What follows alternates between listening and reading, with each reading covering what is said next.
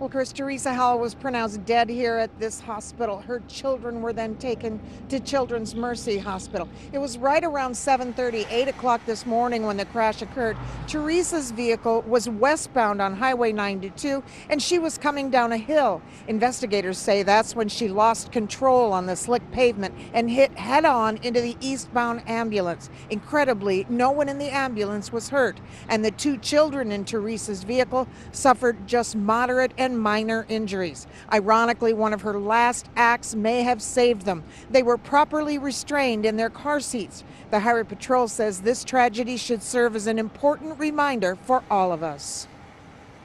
You're going to plan on, you know, those hills, um, bridges, and overpasses being ice covered and, and treacherous. It is January in Missouri, so we just ask people to exercise the highest degree of care, um, to drive at speeds that are appropriate for the driving condition. The Highway Patrol's crash reconstruction team was still on the scene well into the afternoon today, keeping 92 highways shut down for many hours. We're live at Liberty Hospital. Peggy Bright, KMBC 9 News.